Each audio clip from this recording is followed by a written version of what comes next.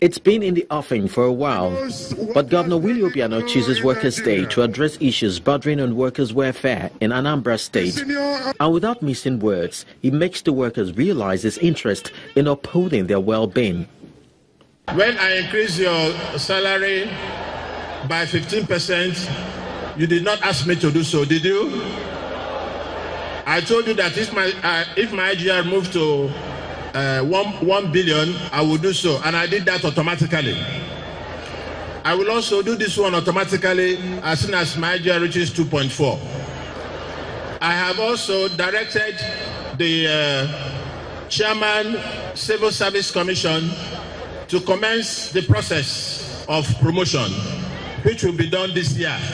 I have no doubt that the overwhelming support that my administration enjoys from these good people of the state is because you have taken it upon yourselves to distill government policies down to the grassroots and ensure that we are adequately understood by the ordinary folks. The leadership of the workers' union in the state are happy the governor has taken the welfare of the workers and pensioners to heart by ensuring prompt payment of the salaries and other entitlements.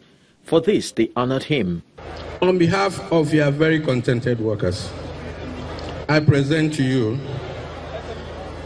this award of honor as the best labor friendly governor of Anambra State. As the governor makes effort towards another term in office, the workers appear to be saying, We are with you all the way. And this they did with an endorsement. We, the labor, the workforce, is now saying that one term deserves another. And the motion has equally been seconded.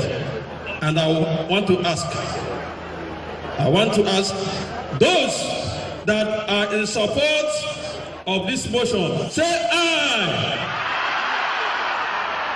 Those against say nay. The it.